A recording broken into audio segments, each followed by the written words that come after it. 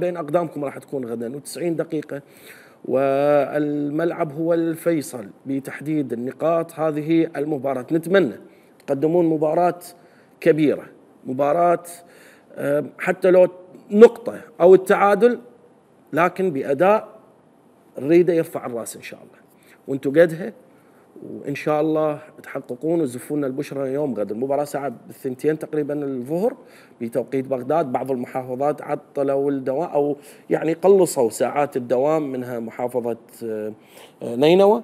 آه، قلصوا الدوام إلى الساعة الواحدة لإتاحة الفرصة للموظفين والطلاب وأيضا الجميع لمشاهدة المباراة. ف تذكروا هاي هاي الناس كلها راح تتابعكم وكلها تنتظر من عندكم الفرحة والبشرى حلمنا بدأ يقترب بالتاهل إلى المونديال.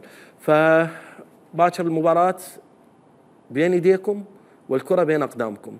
فعرفوا كيف تستغلون المباراة وعرفوا كيف تتصرفون بالكرة. هذا اللي نريده فقط.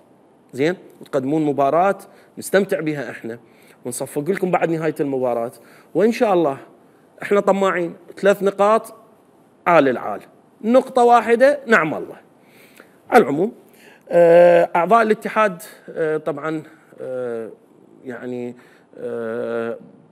تكلموا اليوم السيد علي جبار والسيد غالب الزاملي حول دعم المنتخب الوطني وثقتهم بالمنتخب الوطني. نتابع